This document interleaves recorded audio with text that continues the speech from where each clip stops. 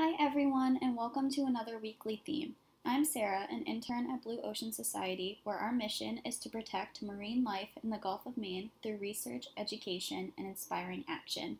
This week, I'll be teaching you all about camouflage. Camouflage is when an animal's natural color looks like its surroundings. Animals use camouflage to blend in to their environment. It is a form of visual disguise.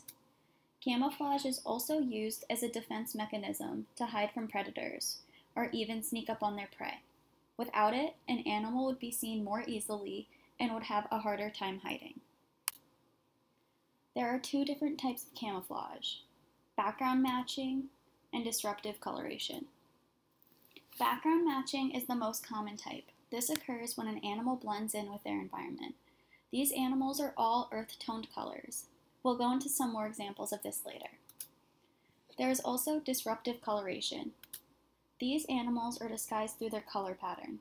Their color pattern causes visual disruption because the pattern does not match the animal's body shape and size, making them unrecognizable. Zebras are a great example of this.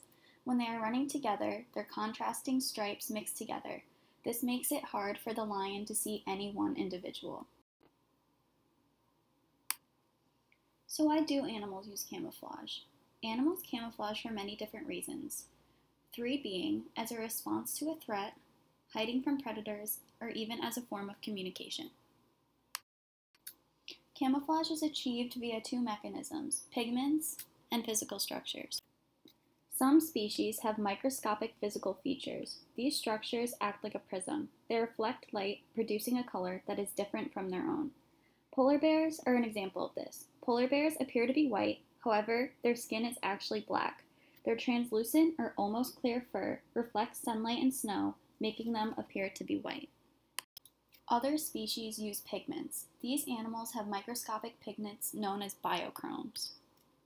These biochromes absorb a certain wavelength of light and reflect a different one, causing the animal to change colors. Octopi, such as the Northeast Canyon's octopus as seen here, use biochromes, allowing them to change their color and pattern. Whales also use camouflage.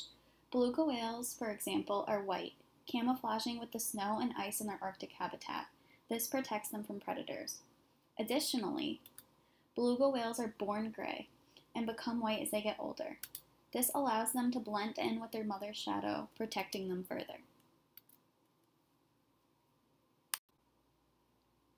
Belugas aren't the only whales that use camouflage. The Gulf of Maine's own humpback whale does as well. Here at Blue Ocean Society, we research humpback whales along with other marine life.